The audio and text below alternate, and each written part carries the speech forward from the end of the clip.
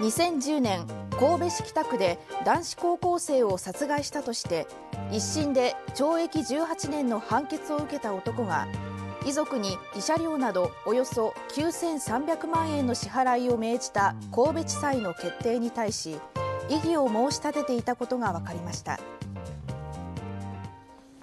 2010年当時17歳だった男は神戸市北区で高校2年の堤翔太さんを刃物で刺して殺害したとして殺人の罪に問われ一審の神戸地裁で懲役18年の判決を受けました。男は殺意を否認し弁護側は当時男が心神耗弱状態だったとして控訴しています。一方遺族は犯罪被害者を支援する損害賠償命令制度に基づき男におよそ1億2000万円の慰謝料などを求めていて神戸地裁は男におよそ9300万円を支払うよう命じました命じていました。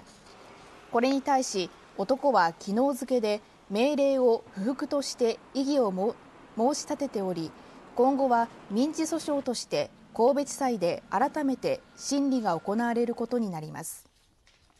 翔太さんの父聡さんは男が異議を申し立てることは分かっていた。引き続き戦うつもりだとコメントしています。